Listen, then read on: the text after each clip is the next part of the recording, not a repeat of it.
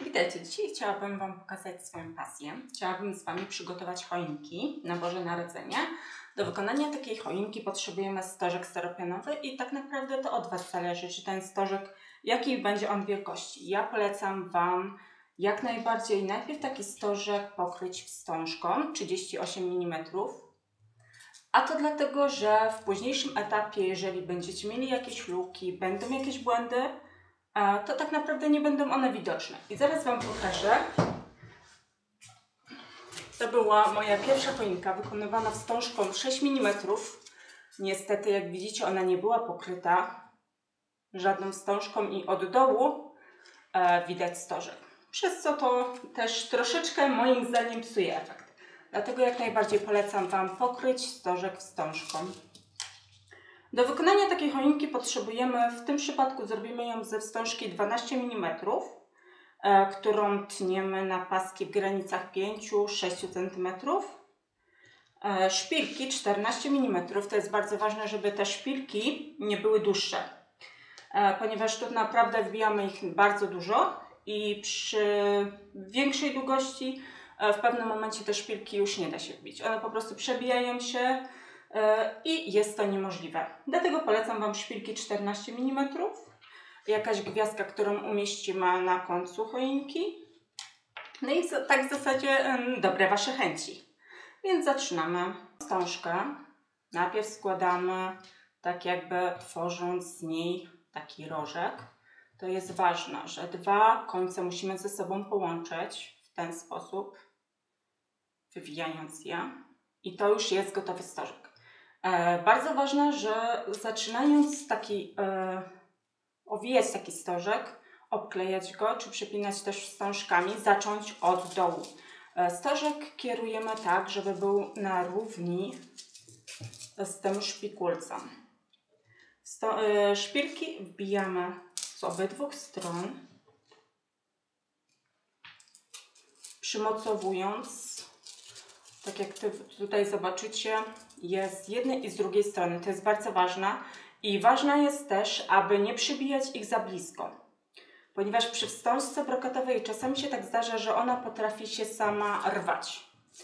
Nawet z czasem, podczas gdy ją gdzieś tam przechowujemy, to zdarza się, że po prostu ona sama się odczepi. Dlatego bardzo jest ważne, e, żeby zostawić tutaj kawałek zapasu i nie przebijać szpilek na samym zakończeniu. E, polecam Wam do tego też druciarkę. Świetnie się sprawdza, bo ona już Wam opala wstążkę i wtedy naprawdę się z nią już nic nie dzieje. I tak lecimy dookoła, starając się, aby każdy z tych kolców był jak najbliżej poprzedniego. Tutaj też się nie musicie martwić na dole, że coś tam widać, ponieważ gdy postawimy tą choinkę, tak naprawdę nie będzie tego widać. Nie musicie się też martwić na pewnym etapie, gdzie będzie widać szpilki, ponieważ tak jak y, moim zdaniem to jest naprawdę urok takiej choinki, gdy widać te szpilki. Zresztą staramy się to robić y, tak, aby było jedno najbliż, jak najbliżej jedno drugiego.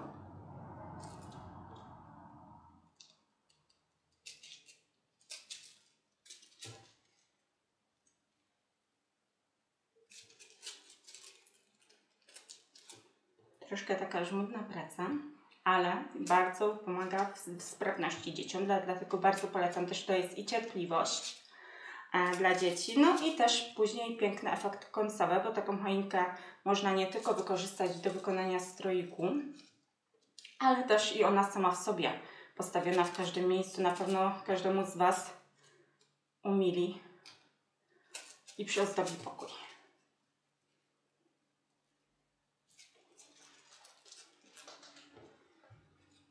Bardzo też jest ważne, żeby e, przy kolejnych warstwach każda warstwa tak jakby na siebie nachodziła, żeby nie robić bardzo dużych luk e, i staramy się, aby tak jak tutaj widzicie mamy punkt, że są dwie szpilki obok siebie, staramy się kolejną warstwę dawać tak jakby na środku, po środku tej jednej i drugiej, bo wtedy to bardziej wygląda naturalnie. Nie jest to wszystko tak, że wszystko idzie w jedną stronę, tylko te kolce są fajnie rozłożone proporcjonalnie. Przypinając przy kolejnych warstwach staramy się aby ten płatek, kolec e, delikatnie wsunąć pod ten, który już jest. Nie przypinamy go gdzieś z boku, tylko staramy się, żeby on delikatnie zaszedł za ten poprzedni. Dzięki temu wszystko fajnie się schowa, nie będzie luk, a choinka będzie wyglądała na bardziej bogatą. Tu jak widzicie, ten kawałek, ja zawsze sobie tnę oko e, i tutaj jest bardzo krótki. I tak naprawdę przypinając go, po pewnym czasie choinka mogłaby się rozpaść. Czyli sobie go odkładam i biorę następne.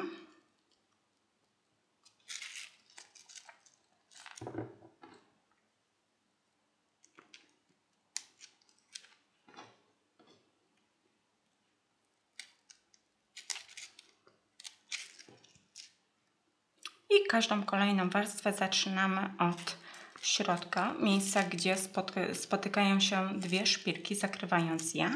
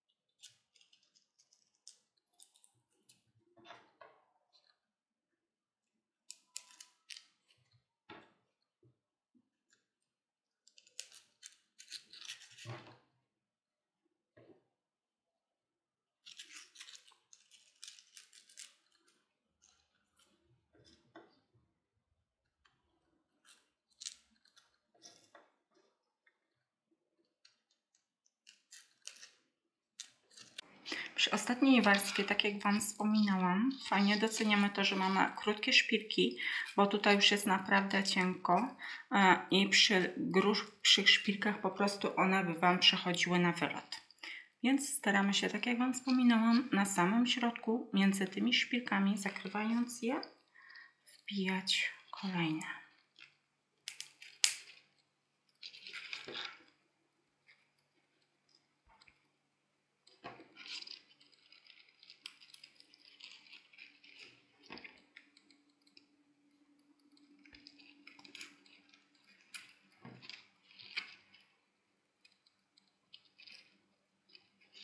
Jeśli tutaj coś Wam nie wychodzi idealnie, wcale się tym nie przejmujcie, bo tak naprawdę nie ma to znaczenia. Całość dopełni nasza piękna gwiazda i nie będzie widać jakichś tam niedoskonałości. Jak widzicie, tu już mam problem, żeby wbić szpilkę. Spróbujemy pod innym kątem.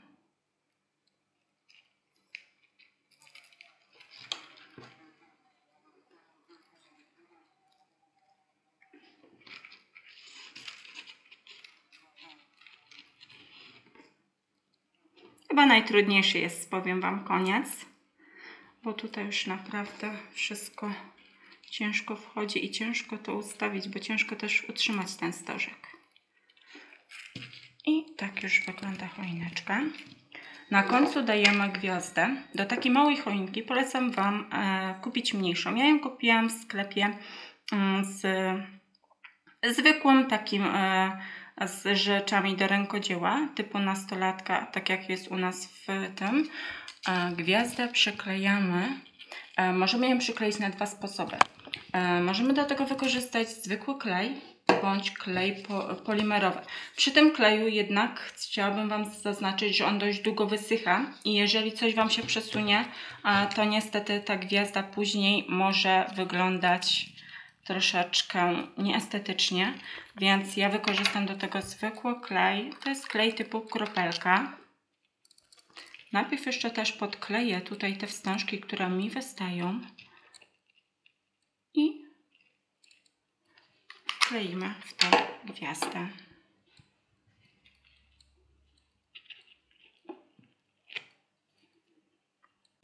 Na tym etapie, jeżeli uważacie, że coś tutaj Wam wystaje, że coś jest nie tak, zawsze możecie nożyczkami podciąć. Tutaj pokażę Wam w ten sposób. E, wystaje wstążka, podciąć ją i wszystko wróci na swój pierwotny kształt.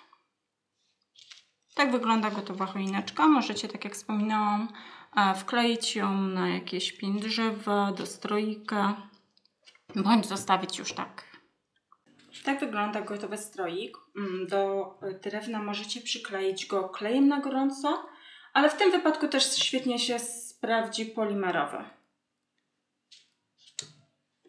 Zachęcam Was do kreatywnego spędzenia wolnego czasu.